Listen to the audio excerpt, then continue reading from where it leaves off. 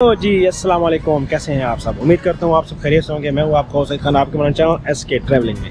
तो मैं आपको चैनल में खुश भी कहता हूँ, यार सब्सक्राइब नहीं किया तो कर दो यार। और जिस बंदे ने कर रखा ना सब्सक्राइब यार, दिल से शुक्रिया उस बंदे आज की वीडियो में मैं आपको दिखाऊँगा कि कैसे इंडोनेशिया जकार्ता से मैं जा रहा हूँ जी मलेशिया कोलालमपुर सुना है कि कोलालमपुर की जो इमिग्रेशन है बहुत ज़्यादा सख्त है, बहुत ज़्यादा सवाल जो आप करते हैं और बहुत ज़्यादा पूछते हैं। आई डोंट नो कि अब क्या होता है मेरे साथ, क्योंकि मेरे पास रिटर्न टिकट भी कोई नहीं है। यानी कोलालमपुर से आगे जाने की कोई टिकट मेरे पास नहीं है। मैं सीधा जा रहा हूँ कोलालमपुर और कोलालमपुर मलेशिया वहाँ मैंने रहना है और वहाँ से फिर मैंने जाना है बैंकॉक थाईलैंड दोबारा। और थाईलैंड से मेरे पास फ़्लाइट है दुबई की। तो अब देखते हैं कि लेट्स सी क्या बनता है। मैंने सुना है कि बहुत ज़्यादा सख्त है। चलें, जो भी होता है, वीडियो के साथ बने रहिए। जो भी नई अपडेट आती है, मैं आपको बताता रहूँगा। उससे पहले मैंने जितना भी फ्लाई किया है, मैंने, मेरे पास कोई भी रिटर्न टिकट नहीं थी और मुझे किसी ने नहीं पूछा कि भाई आप कहाँ जा रहे हो कहाँ से आ रहे हो, ठीक है? इतना मैंने फ्लाई किया है। मैं मतलब वियतनाम गया कम्बोडिया गया थाईलैंड गया थाईलैंड से आगे गया तो इंडोनेशिया आया, किसी ने नहीं पूछा। अब आई डोंट नो कि क्या होगा। जो भी होगा वही होगा, जो मंजूर खुदा होगा। तो मिलते हैं जनाब स्टेट यून चैनल को सब्सक्राइब नहीं किया तो सब्सक्राइब कर दो यार।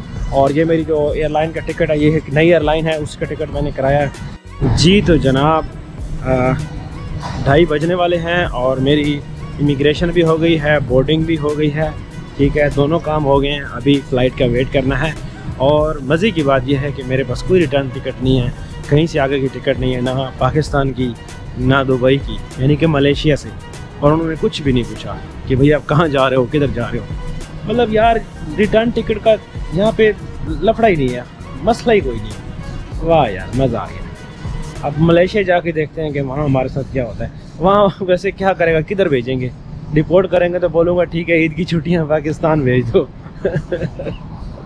अपने खर्चे पे भेज दो हमें। मगर ऐसा नहीं होता। अगर किसी को डिपोर्ट करना हो, उसके पास पैसे ना हो तो उसके पासपोर्ट की जो एयरलाइन होती है, उस एयरलाइन की ज़िम्मेदारी लगा देते हैं कि वो एयरलाइन फिर वो पैसे वसूल करके वहाँ पे देगी। यानी कि पासपोर्ट आपका वो एयरलाइन रख लेती है और जब तक आप पैसे नहीं देते, वो एयरलाइन आपको पासपोर्ट वापस नहीं करती। या तो फिर आप ये है कि नया पासपोर्ट बनवा लें, तब तो ठीक है अदरवाइज़ फिर नहीं है। तो ये पंगा है जी। तो ये एयरपोर्ट है, बहुत बड़ा है यार। समझ से बाहर है यार। मेरा जो गेट नंबर है वो थ्री है। And I need to change the currency so यहीं पे चेंज करा लें तो अच्छा है भाई। क्योंकि वहाँ जाके चेंज कराएँगे तो किसने लेनी है और किस मुल्क में लेनी है इसको। समझ रहे हैं ना? तो इधर ही थोड़े से कुछ रह गए हैं इनके। इंडोनेशियन रुपया कुछ दे के चले जाते हैं। क्या एयरपोर्ट है यार, इतना बड़ा? और राष्ट्र बना हुआ है यार। किसी भी मुसलमान कंट्री में जाते हैं ना तो ये सबसे बड़ा मज़ा आता है यार, कि वहाँ इस तरह का आपको टैप वाटर मिल जाता है। बोतल अपने पास होती है तो वो भर लो, ठीक है, भर के रख लो।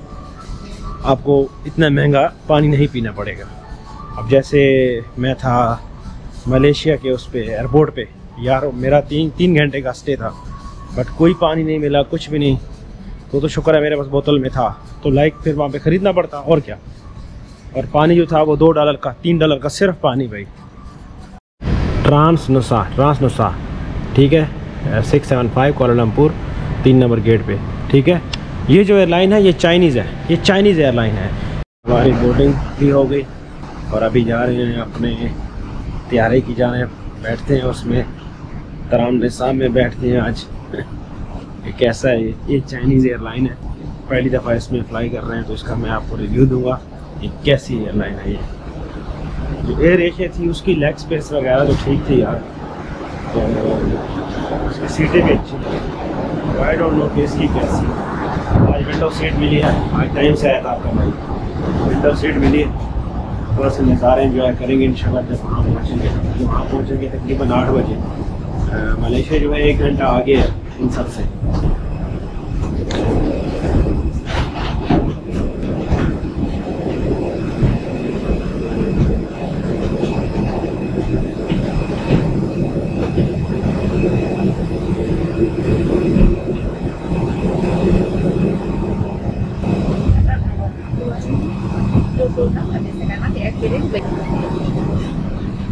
ये है जी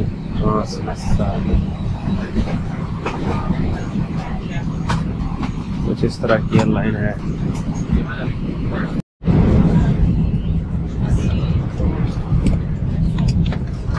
एयरक्राफ्ट ये अच्छा खासा पुराना है और लेग स्पेस इसकी भी ठीक है वेज एयर की तरह का है ये।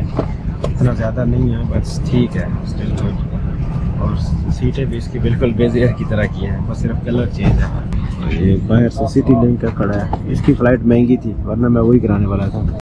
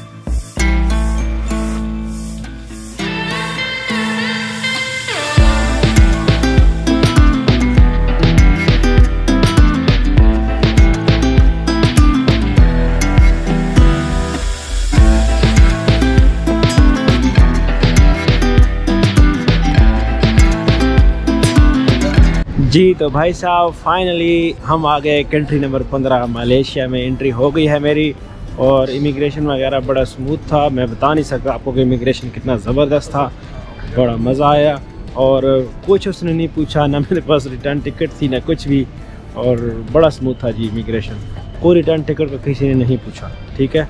तो अभी मैं हूँ कोलालमपुर के एयरपोर्ट पे, अभी यहाँ से बाहर जाते हैं और यहाँ से ट्रेन लेते हैं अपने हॉस्टल की जानब, ठीक है? हॉस्टल में चेक इन है दो बजे का अभी टाइम हो रखा है जनाब, बड़ी अर्ली मॉर्निंग है, अभी टाइम हो रखा है आठ बजने वाले हैं, बट कोलालमपुर के हिसाब से नौ, क्योंकि ये एक घंटा आगे है। तो मैं अपने हॉस्टल जाता हूँ हॉस्टल मैंने एडवांस में बुक करा लिया था, बट हॉस्टल जाने का फ़ायदा कोई नहीं है। तो मैं थोड़ा सा सामान साथ लाया था, यहाँ बैठ के अपना नाश्ता कर लेते हैं, क्योंकि जहाज़ में आपको पता है कि बड़ा चीज़ें महँगी होती हैं एयरपोर्ट पर भी, यहीं पर कहीं बैठ के जो है ना खाते हैं। फिर उसके बाद फिर यहाँ आराम से बैठ के इंटरनेट पर सर्च करके फिर सुकून से जाते हैं। एयरपोर्ट पे आते हैं एयरपोर्ट से आपने कैसे जाना है शहर वाली साइड पर क्योंकि एयरपोर्ट ये बहुत सारा दूर है। तो यहाँ पे आपने क्या करना है नीचे आना है फ़र्स्ट फ्लोर पे, ठीक है लिफ्ट के ज़रिए, और नीचे आके आपको यहाँ से ये मेट्रो का कार्ड मिलेगा, ठीक है? ये है 55 रिंगेट का, ठीक है, पचपन रिंगेट का। बट अभी प्रमोशन चल रहा था वीज़ा कार्ड के ऊपर। अगर आप वीज़ा कार्ड से पे करते हैं तो ट्वेंटी परसेंट डिस्काउंट है। तो मेरे पास वीज़ा कार्ड है तो वही का मैंने वो यूज़ किया है। आपके पास कोई भी पाकिस्तान का या कोई भी वीज़ा कार्ड है तो आप वो यूज़ कर सकते हैं। तो अभी यहाँ से जाएँगे हम K R central K L central ये जो है ना मेन सेंटर है, यहाँ से आपको पूरे मलेशिया में कहीं भी आप जाना चाहते हैं ट्रेन आपको मिलेगी, ठीक है? यानी कि मेन स्टेशन है के आर सेंट्रल और यहाँ से अभी हम बैठते हैं इसमें और जाते हैं के एल सेंट्रल और उससे आगे फिर हमारा हॉस्टल होगा। उसकी फिर अलग से ट्रेन होगी। वो फिर बाद में मैं दिखाऊँगा कि वो ट्रेन कैसे आप लेनी है।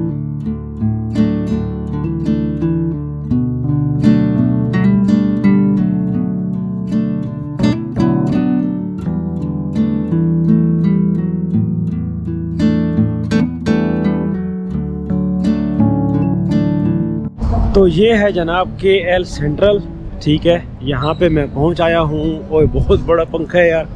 तो इस स्टॉप से हमें सारी बसें मिलेगी। मैंने कार्ड टैप किया तो 44 लारिस लारिस कह रहा हूँ इनके रिंगट कटे हैं। और दुबई की में से पैंतीस दिरम पैंतीस सारी साठ three five point six zero दिरहम कटे हैं, ठीक है? यानी कि अबू धाबी वाले पैसे काटे हैं उन्होंने बस वाले, ठीक है? और ये पंखा देखो भाई, इतना बड़ा पंखा, ओए होए होए, बड़ी तेज़ हवा फेंक रहा है। तो ये सीन है जहाँ आप यहाँ से मेन इंटरफेस के आर के एल सेंट्रल का। अब यहाँ से अपने अपनी बसें वगैरह चूज़ करके जाना है आपने। बाहर क्या मौसम है? वी यार बारिश तो नहीं है तो बड़ी ठंडी हवा है, तूफ़ान सा है हल्का हल्का। उस साइड पे जाते हैं, बाहर इधर सिम का पूछते हैं और इधर थोड़ा सा घूमते हैं। सिम लेते हैं और सिम लेने के बाद फिर जाएँगे हॉस्टल में। एक हॉस्टल में बात कर रखी है डायरेक्टली लो जी, बारिश से हो गया है, स्वागत हमारा। बारिश शुरू हो गई है, जनाब, बारिश। मौसम बड़ा ज़बरदस्त हो गया जी। अभी घूमने लायक हो गया है।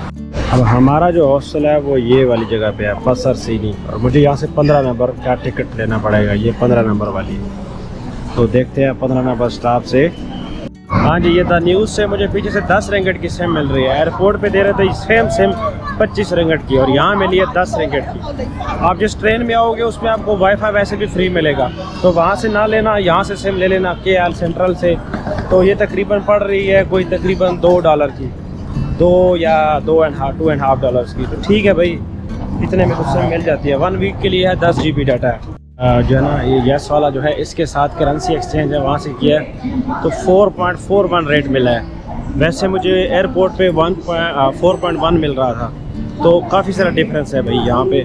यहाँ पे रेट अच्छा है। अभी मैं के सेंट्रल में हूँ। यहाँ पे रेट अच्छा है। मे भी इससे बाहर जाए तो और अच्छा हो। बट चूँकि अब करेंसी चाहिए थी तो यहाँ पे ले लिया। अब यहाँ से टिकट लेता हूँ।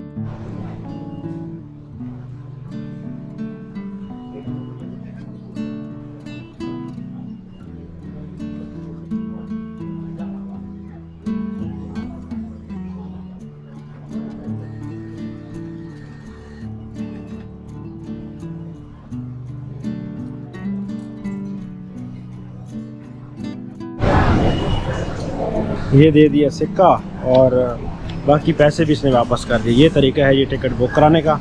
और यहाँ से अब इसमें जाएँगे। टिकट मेरे ख्याल में सिक्का रखना पड़ेगा कहीं पे। ये मैंने इस पे जाना है। के सेंट्रल ये वाला है और पसर सैनी मैंने इस पे जाना है। So I have to go to platform number one go back so ये वन है। ये स्टेशन है। ये स्टेशन है, ये गुम्बक वाली साइड पे जाएगा और ये लिखा हुआ भी है, ये देखें कि गुम्बक जाएगा। तो मैंने अगले स्टेशन पे उतरना है। बस सर सैनी पे उतरना है और ये आ रही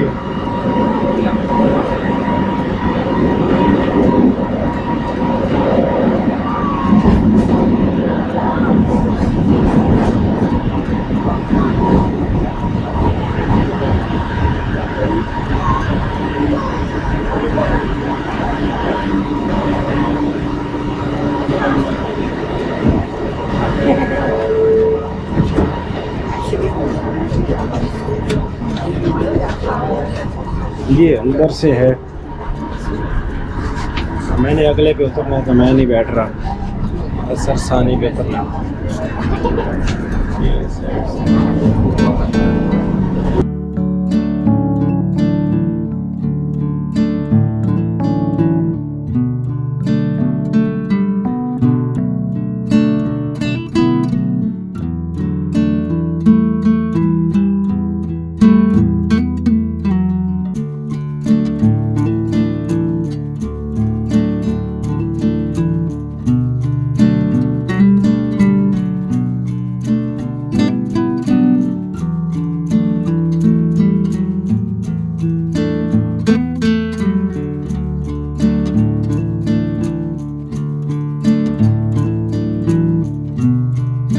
भाई, बसर सानी मार्केट है, ये है 1880 की मार्केट है ये, बहुत पुरानी। है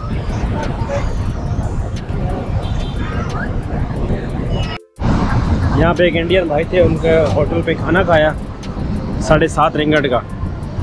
तो ऑलमोस्ट ये डेढ़ डॉलर से तो ज़्यादा ही बन रहे हैं। जिसमें बॉयल्ड राइस और एक चिकन पीस और साथ में करी ये इंडियन का होटल है इंडियंस ये जाते हुए हॉस्टल मेरा इधर ही है। तो इस वीडियो को मैं एंड ही करूँगा हॉस्टल में जाके और फिर रेस्ट करूँगा। फिर मैंने लॉन्ड्री भी करनी है, कपड़े धोने हैं। इंडोनेशिया में धोए थे, उसके बाद फिर धोए नहीं।